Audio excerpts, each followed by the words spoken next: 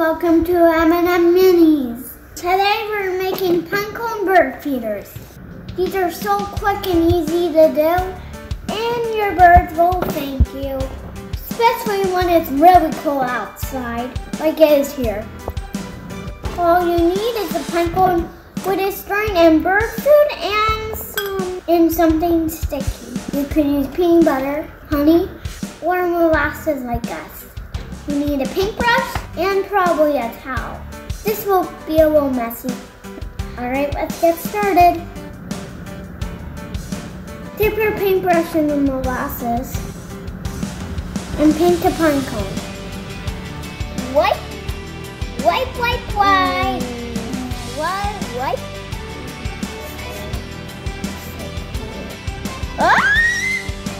This is why you need some uh, towels because it might get over your fingers. Look at the one more molasses paint. I'm writing it. There. I made a heart. Rub it on the inside of my heart. Hold on. Now we're going to dip in the birdseed.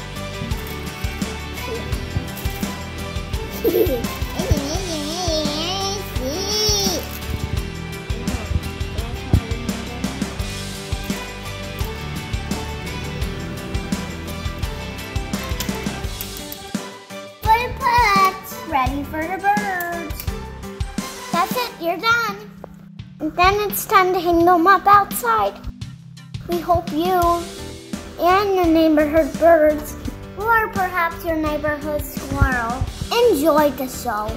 See you next time. Bye.